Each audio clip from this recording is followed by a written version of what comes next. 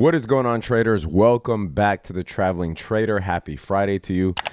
Let's get right into it. I wanted to talk about the Bitcoin halving that's upcoming. The estimated date is around May 13th. Somebody in our trading group had sent me this article saying that analysts predicts Bitcoin at $5,000 in Q1 2020. Here's why it is compelling.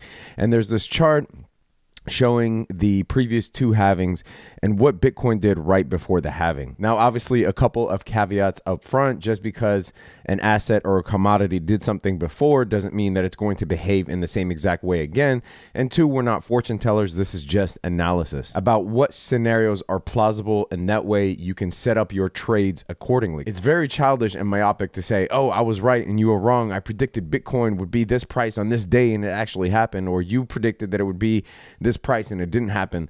That's not what technical analysis is, right? That's just the bullshit that you see on crypto Twitter and crypto YouTube. But anyone that's that's been trading for a long time knows that really the, the value in technical analysis is trying to find what are the plausible scenarios, what are the key levels so that you can set up your trades and your stop limits accordingly. It's not so that you can prove that that you were right or try to predict the future. Anyway, so I looked at this chart and I did some analysis of my own looking at the halvings and I marked the previous two halvings here in blue. This one is the one that's upcoming. And I'm using the weekly chart as opposed to the daily that was used in, in this article. And what I noticed was that Bitcoin actually does something really remarkable before the halving.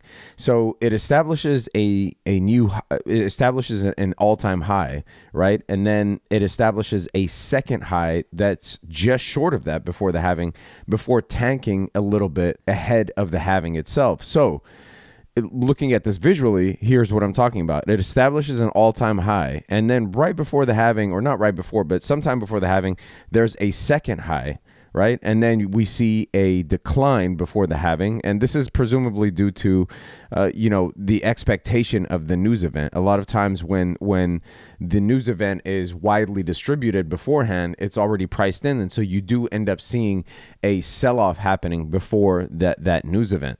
You see this in the stock market as well, right? So that's why you have the the, the um, anecdote buy the rumor, sell the news. So we see here that Bitcoin established a high of thirty three dollars. Hilarious that we're even talking about that price level when it comes to Bitcoin. And then, you know, it tanked. Obviously, we had a, a crash.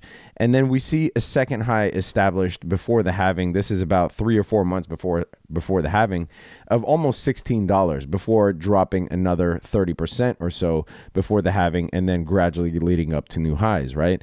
And then in the leading up to the second halving, we see here that Bitcoin established a, a new all time high, right? And this is when it hit above a thousand dollars for the first time. This was at around eleven fifty, and then you see Bitcoin obviously retrace, you know, crash all the way down to 100 i mean this was bad this went all the way down to you know $169 after hitting you know a price above a thousand dollars. Bitcoin lost almost 90% of its value. This was probably the worst crash in history. This was around the Mt. Gox time when that exchange shut down. And then you see a second high right? So there's the all-time high and then there was a second high that didn't quite reach those heights at about seven seven hundred ninety dollars right and this happened just a couple, uh, just about a month before the second halving, right? The price retraced to the 200 weekly MA. We see the, the golden cross between the 50 and the 100 MAs.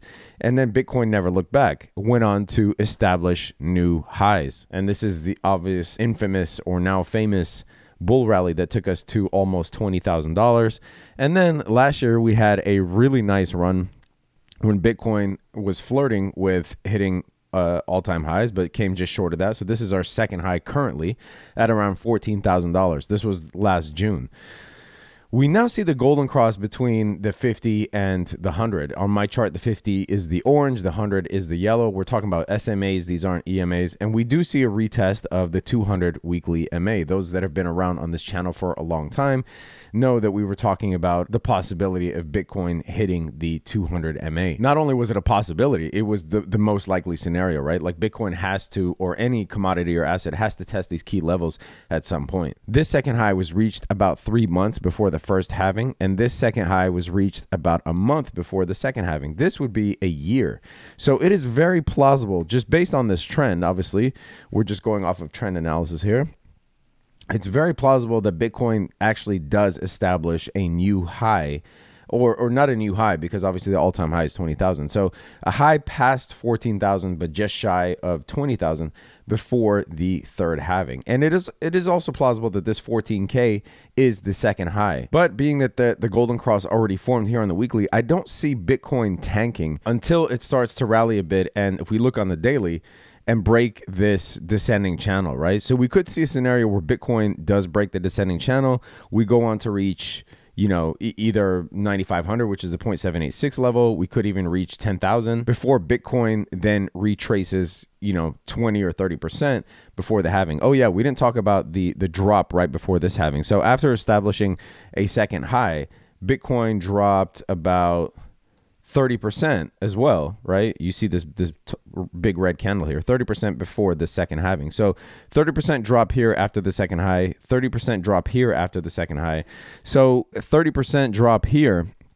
You know, this article is assuming that that Bitcoin could drop 30% from where it currently stands. However, Bitcoin could rally, break out of this descending channel. We are seeing good volume, and I'll talk about the volume in a second, but we could break out of this descending channel right? Hit, you know, 9500, 10,000, even match the the high that we the second high that we saw back here before retracing 30%. And that would still, you know, put us at a decent price level. It doesn't mean we, you know we have to tank to 5,000. So if we hit 10,000 and retrace 30%, that would obviously put us at around 7,000. If we hit 14,000 and retrace 30%, then that would put us at around 9,600. So you know, these are just some scenario. Obviously, the, these are we're, we're, talking about long term charts, and again, a, a, commodity or an asset doesn't have to do exactly what it did before. We are getting pretty good volume here in January. If you look at January, obviously it beats most days in December, minus this December seventeenth surge that we see.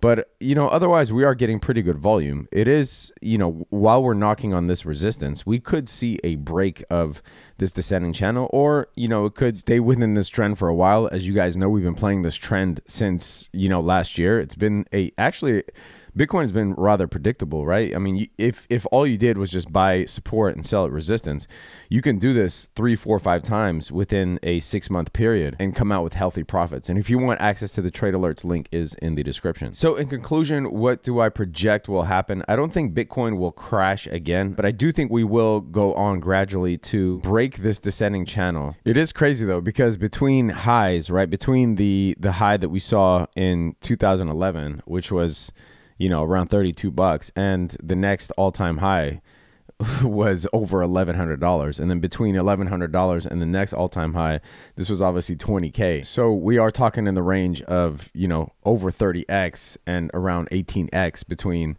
between highs. So obviously, as things get more expensive, you have a diminished gains effect, right? So between thirty-two dollars and, and eleven hundred dollars, you're talking about what thirty-four x, thirty-five x, and then between this and twenty k, you're talking about eighteen x. But even just at, at ten x from twenty k, we're talking about a two hundred thousand dollar Bitcoin. So as things get more expensive, obviously the multiplying factor gets diminished just by nature. I mean, you see this obviously with stocks as well, right? So if Tesla started off at you know fifteen bucks bucks and we're now pushing 500 bucks, it doesn't mean that Tesla can jump another 3000%, right? Because that would put us at above $15,000. Now, obviously, in stocks, you have stock splits and whatnot to avoid getting the price up that high, but it becomes more irrational that an asset can grow as the price gets more expensive, right? That Bitcoin can 30x or, or 18x from, from 20K. Anyway, that is it for this video. Sign up if you want access to the trade alerts, our traders group chat where we discuss trades, strategies, what coins we're trading, what stocks we're trading, etc., what levels we're looking at, where to enter, where to exit, where to take profit hit that thumbs up if you got anything out of this video. Leave a comment if you have a question, comment, agreement, disagreement. Stay safe out there, traders. Peace.